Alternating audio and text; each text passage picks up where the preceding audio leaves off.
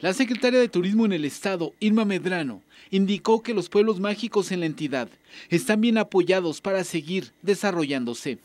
Eh, San José de Gracia con el turismo religioso, Calvillo con su oferta de, venta de guayaba y deshilados, eh, de su fábrica de dulces y este de, todas las corbatas italianas también con deshilado y Real de Asientos que es un pueblo mágico minero.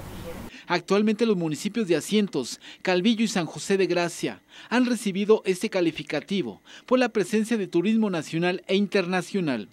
Los pueblos mágicos continuarían vigentes por la importancia revestida en sus sitios coloniales.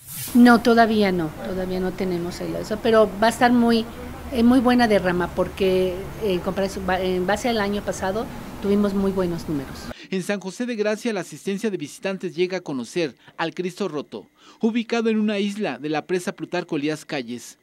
En el caso de Calvillo, se distingue por su tradicional fruto de la guayaba en un clima tropical y sus comunidades rústicas. En el caso de Asientos, se distingue por sus cuevas y un Cristo hecho con partes óseas de humano.